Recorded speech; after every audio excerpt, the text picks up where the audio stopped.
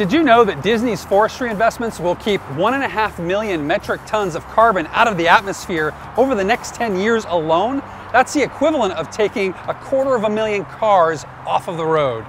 So Disney is committed to reducing the environmental impact of its operations. One way we do this is by protecting forests all around the world.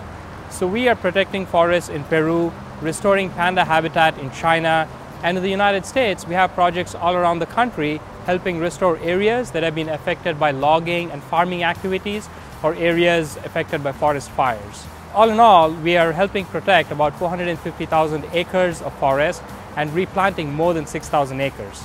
So to do all this, we work with expert partners who help us pick the best sites and help us design projects with specific and measurable environmental outcomes.